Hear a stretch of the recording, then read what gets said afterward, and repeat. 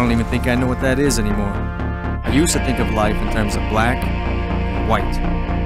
Hmm. Until a man helped me unlock my darkest potential. Hey, Mr. Fazzetti, how you doing? I was shown that there is no good, no evil, no eternal soul I know a lot of guys, including myself, that'll pay big money, have you do a couple of favors and clean up some things around town. Only money, What kind of big money? power.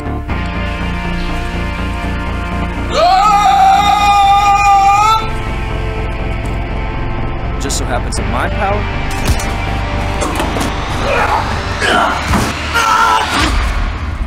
lies at the business end of a gun.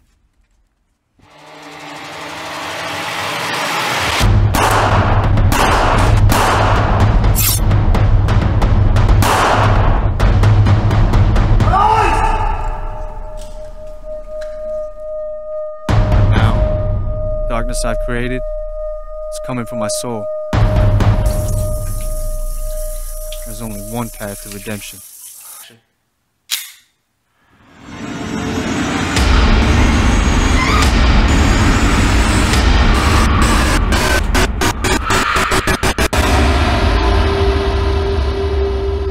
Before you can walk through those gates, you must walk back out those doors and let the fire cleanse you.